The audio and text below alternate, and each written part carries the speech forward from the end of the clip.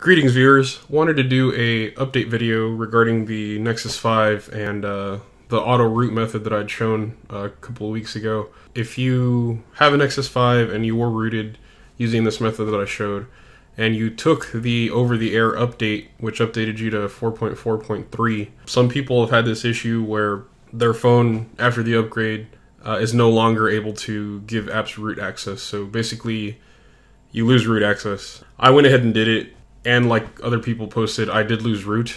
One of the key things is that I did not lose bootloader being unlocked. And so the bootloader being unlocked, to me, in my opinion, is the bigger thing because that completely wipes your phone. So I'm going to go ahead and show you on my phone that I do still have my bootloader unlocked. And the way I, I regained root was I basically just went through the CF auto root method again, which I'll put a link to this original video in the description. I'll put an annotation on the screen somewhere for it as well. Uh, pretty much, you just run this method again.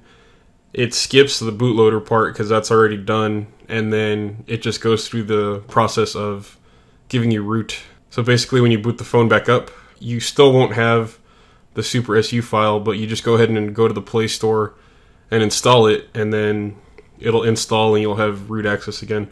So I'm to go ahead and go over to my phone here. Alright, so we got the phone on screen. It's a little smudged, apologize for that. And to go into the uh, fast boot, hold down the volume down and press the power button. See if I can zoom in here. So you see lock state is unlocked. I checked this before rerunning CF Auto Root, but after doing the update and I still had the unlocked lock state. So again, to get into fast boot mode, it's just volume down and then the power button at the same time.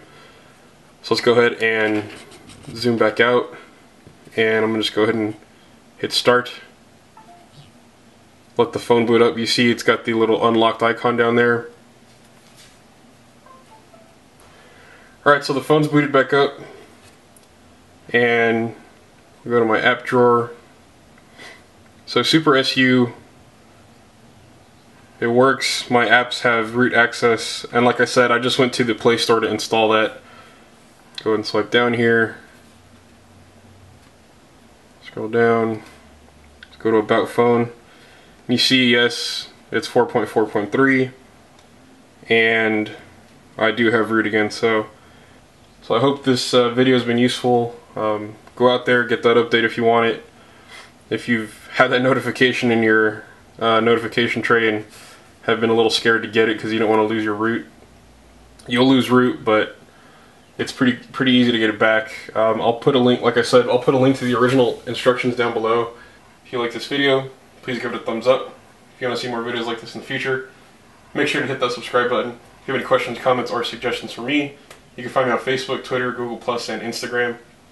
So until next time, good luck rooting your phone, and uh, let me know how it works out. Take care.